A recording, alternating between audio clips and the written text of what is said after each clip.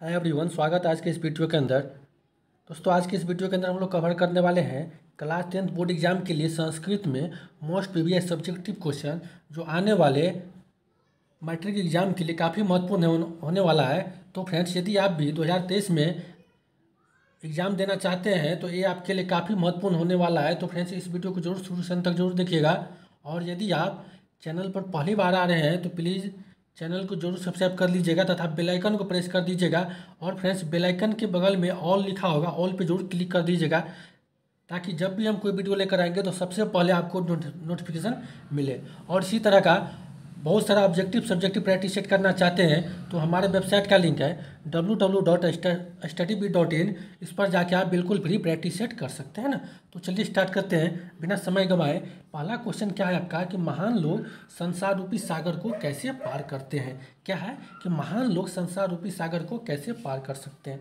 तो क्या दिया गया है कि महान लोग अपने को अज्ञानी और अन्य विद्वान को ज्ञानी समझकर संसार रूपी सागर से पार कर जाते हैं और महान व्यक्ति अपने नाम को छोड़कर उस दिव्य श्रेष्ठ पुरुष यानी ब्रह्मा को प्राप्त कर लेते हैं, है ना? ऐसे क्या होता है कि फ्रेंड्स, श्वेतासर उपनिषद में ज्ञानी लोग और अज्ञानी लोग में अंतर स्पष्ट करते हुए महर्षि वेद व्यास कहते हैं कि अज्ञानी लोग अंधकार स्वरूप और ज्ञानी प्रकाश स्वरूप है है ना? और महान लोग इसे समझ कर क्या करते हैं? मृत्यु को पार कर जाते हैं। क्योंकि संसार रूपी सागर को पार करने का इससे बढ़कर कोई अन्य रास्ता नहीं है। इसलिए फ्रेंड्स महान लोग संसार रूपी सागर को पार कर जाते हैं।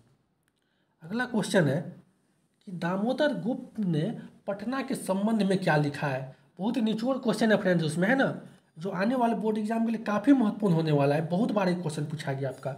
दामोदर गुप्त ने पटना के संबंध में क्या लिखा है? तो दिया गया है, दामोदर गुप्त नामक कवि ने स्वलिखित कुटनिम तरनी काव्य में पटना के संबंध में लिखा है कि प्राचीन भारतीय नगरों में अग्रणी पटना गंगा के किनारे बसी विचित्र महानगर है।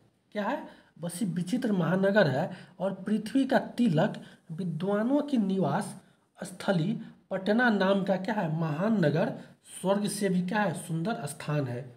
है ना? क्या है? दामोदर गुप्त नामक कवि ने स्वलिखित कुट नमी तरनी काव्य में पटना के संबंध में लिखा है कि प्राचीन भारतीय नगरों में है ना, अग्रणी पटना गंगा के किनारे बसी एक विचित्र महानगर है। कौन? पटना एक महानगर है और वही पृथ्वी का तिलक विद्वानों की निवास स्थली पटना नाम का महानगर स्वर्ग से भी सुंदर स्थान है।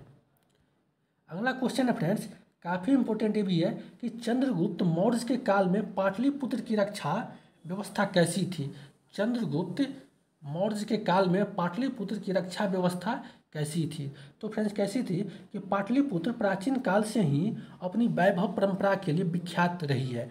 वह विदेशी यात्रियों ने अपने स्मरणों में यहाँ की अनेक उत्कृष्ट संप्रदायों का वर्णन किया है। और वही मेगास्थनीज ने लिखा है, किसने? मेगास्थनीज ने लिखा है कि चंद्रगुप्त मौर्य काल में यहाँ की शोभा और रक्षा व्यवस्था अति उत्कृष्ट था। और वही अशोक काल में यहाँ क्या है? निरंतर समृद्धि रही है। जैसे क्या है फ्रेंड, मेगास्थनीज ने लिखा है कि चंद्रगुप्त मौर्य काल में यहाँ की शोभा और रक्षा व्यवस्था बहुत ही ज़्यादा आकर्षक था। वही अशोक काल में यहाँ निरंतर बहुत ज़्यादा समृद्धि रही है फ्रेंड्स है ना? वही यानी चंद्रगुप्त मौर्य के काल में पाटलिपुत्र की रक्षा व्यवस्था थी। अगला क्वेश्चन है फ्रेंड्स बहुत ही इंपॉर्टेंट क्वेश्चन है कि सिख संप्रदाय के लोगों के लिए पटना क्यों महत्वपूर्ण है? सिख संप्रदाय, जैसे सिख जाति है फ्रेंड वो संप्रदाय, सिख धर्म संप्रदाय के लिए लोगों के लिए पटना क्यों प्रसिद्ध है? क्योंकि फ्रेंड्स गुरु अर्जुन देव पटना सिटी में जन्म लिए हैं। कौन? गुरु अर्जुन देव। क्योंकि पटना सिटी में सभी सिख धर्म गुरु पधारे हैं और वही दसवें गुरु गोविंद सिंह का गुरुद्वारा भी यहीं पे है। कौन? दसवें गुरु गोविंद सिंह का गुरुद्वारा भी वहीं है।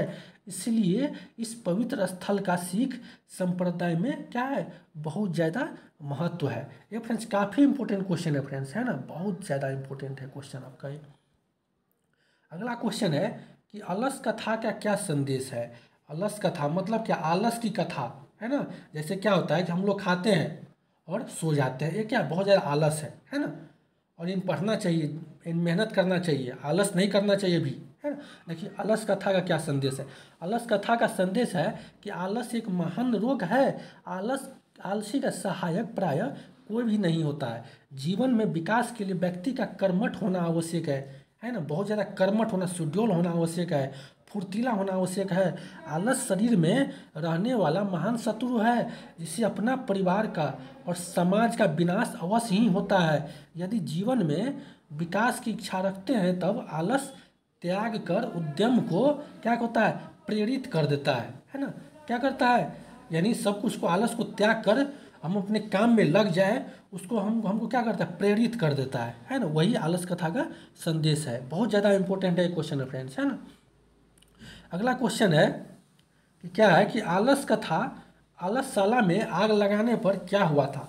आलस कथा पाठ में आलसशाला में आग लगाने पर क्या हुआ था? क्योंकि फ्रेंड्स आलसशाला में आग लगने पर लगे आग को बढ़ते देखकर सभी धूर्त लोग क्या किए? भाग गए। इसके बाद कुछ आलसी लोग भी भाग गए, है ना? यानी मान लीजिए होता है ना कहीं पे कि आलस सॉरी कहीं पे यानी गाँव घर में आग लगता है तो यहाँ से भागना नहीं चाहिए। उसको उसको यानी क्या करना चाहिए? बताना चाहिए, यानी बुझाना चाहिए, और यानी क्या भाग जाना नहीं चाहिए, है ना? तो इसका मतलब क्या है कि आलस नहीं करना चाहिए? अगला क्वेश्चन है, पटना के मुख्य दर्शनीय स्थलों का नाम लिखे। पटना के मुख्य दर्शनीय स्थल का नाम लिखे। तो फ्रेंड दर्शन स्थल कौन कौन सा है? देखिए, पटना में गांधी सेतु नामक पुल, जो क्या एशिया का सबसे बड़ी पुल है और लंबी पुल है, गांधी सेतु, है ना? जो पटना किनारे, गंगा के किनारे बसा हुआ है ना?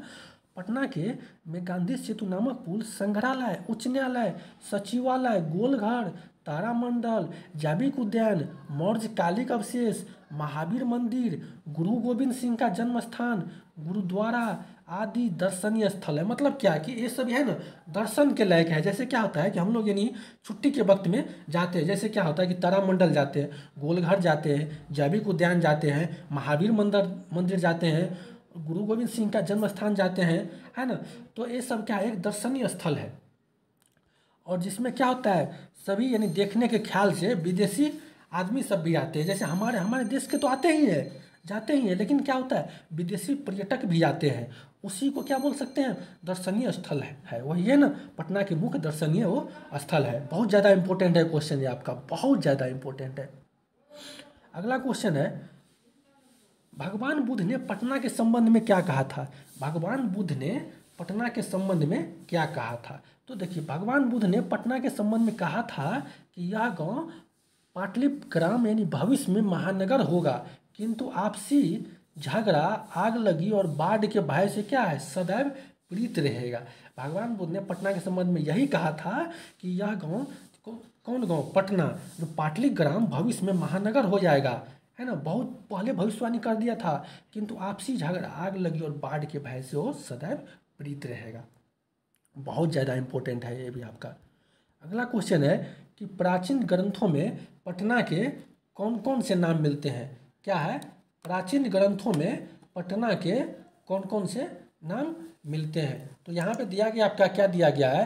प्राचीन ग्रंथों में पुराणों एवं पटना का क्या नाम? पुष्पपुर या कुसुमपुर पाया गया है। क्या पाया गया है? पुष्पपुर और कुसुमपुर पाया गया है। जो फ्रेंड्स, भारत के बिहार राज्य के पटना ज़िले में स्थित एक ऐतिहासिक नगर है, वही राज्य का राजधानी है। कौन है?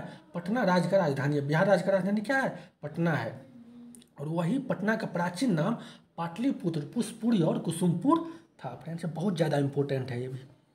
अगला क्वेश्चन है, देखिए, चंद्रगुप्त मौर्य के काल में पाटलिपुत्र की रक्षा व्यवस्था कैसी थी? है ना? तो देखिए यहाँ पे क्या है कि चंद्रगुप्त का मौर्य काल में पाटलिपुत्र की रक्षा व्यवस्था अपनी वैभव परंपरा के लिए विख्यात रही है। वही विदेशी यात्रियों के लिए क्या दिया गया है? संस्मरणों में यहाँ के अनेक उत्कृष्ट संप्रदायों का वर्णन किया है। मेगास्थिनी ने लिखा है कि चंद्रगुप्त मौर्य काल में यहाँ की शोभा और रक्षा व्यवस्था बहुत ज़्यादा उत्कृष्ट था। मतलब क्या था कि आपका आकर्षक था, बहुत ज़्यादा सुंदर था। है ना? अब इस बार अशोक काल में यहाँ निरंतर समृद्धि रही है। कवि राजशेखर ने अपनी रचना काव्य मीमांसा में ऐसी बात लिखी है, कौन किसने? राजशेखर ने। कहाँ पे? अशोक काल में। है ना? यहाँ बड़े बड़े कवि व्याकरण भास्कर परीक्षित हुए हैं। आज पाटलिपुत्र नगर, पटना के नाम से जाना जाता है। कौन? पाटलिपुत्र नगर। वहाँ संग्रहालय, गोलघर, जैविक उद्यान इत्यादि बहुत ज़्यादा दर्शनीय स्थल है। तारामंडल, है ना, पटना सचिवालय, ये सब बहुत ज़्यादा दर्शनीय स्थल है। इस प्रकार पाटलिपुत्र प्राचीन काल से ही आज तक विभिन्न क्षेत्रों में वैभव धारणा करते हैं और इसका संकलित रूप संग्रहालय में देखने योग्य मिलता है। बहुत ज़्यादा इंपॉर्टेंट है ये सब क्वेश्चन फ्रेंड्स है ना। उम्मीद करते हैं फ्रेंड्स यदि वीडियो अच्छा लगा लगा होगा तो फ्रेंड चैनल को ज़रूर सब्सक्राइब कर लीजिएगा तथा बेल आइकन को प्रेस कर दीजिएगा और अपने फ्रेंड में भी शेयर कर दीजिएगा। मिलते हैं फ्रेंड नेक्स्ट वीडियो में। Thank you friends